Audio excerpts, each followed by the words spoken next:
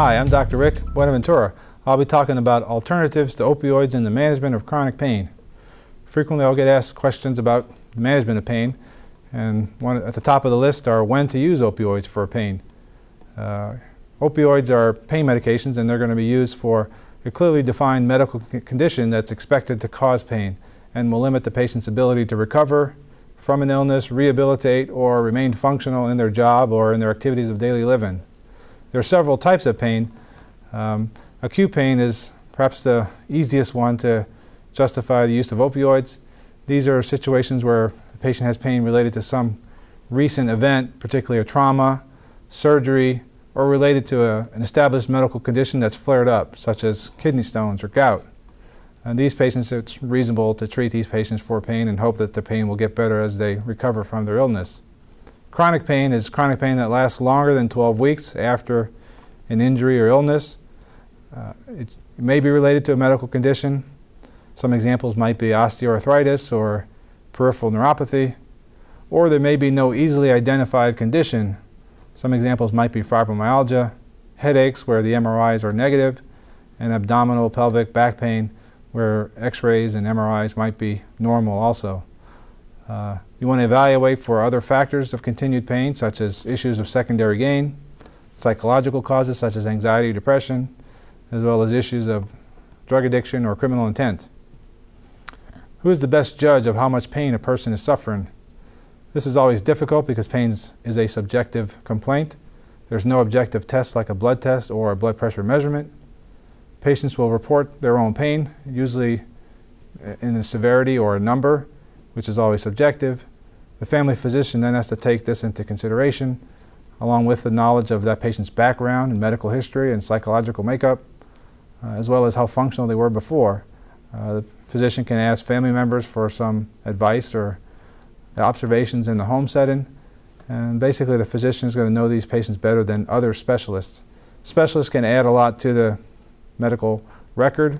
Specialists might include a specialist that's specific for the patient's medical condition, such as an orthopedic surgeon for hip arthritis uh, or a, neurologist for headaches. Pain physicians treat pain conditions and they can help with certain pain conditions as well as making recommendations for treatments that might avoid opioids. Uh, an addiction medicine specialist would be someone that can help in the situation where there's a history of substance abuse.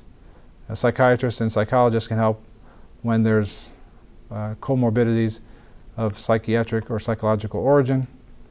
Uh, it's important to consider a medical home for these patients, essentially a family practice doctor who can help with referrals uh, for these patients and knows their whole medical background. What are alternatives to opioids? Well, there are several. Uh, these should be used in all chronic pain patients, not just patients that are at risk for abusing opioids. Uh, they can be used early in the treatment regimen in the hopes of avoiding uh, opioids and the development of addiction. Um, you don't have to use all of these, and you don't have to use them in any sort of step fashion. Uh, included in all of these subsegments may be alternative medicines. I didn't separate that out, but First thing might be physical modalities of pain relief, such as physical therapy, exercise, massage, yoga, TENS, acupuncture. Uh, medications other than opioids would include acetaminophen or Tylenol, anti-inflammatory medications or arthritis medicines, anti-seizure medications, antidepressant medications, muscle relaxers, and local anesthetics. All these medicines can help decrease the patient's pain complaint and reliance on opioids uh, for management of their pain. Uh, anti-anxiety medications don't seem to have much of a benefit in pain and we don't use those very often in, in most pain clinics. Uh, psychological intervention would include things like cognitive behavior modification and stress management. Uh, getting more aggressive, we might consider interventional in injection therapies for pain such as spinal uh, canal, nerve blocks, joint injections, in these situations, we're injecting steroids and local anesthetics to numb up nerves and reduce inflammation. Uh, getting even more advanced would be things such as spinal cord stimulation.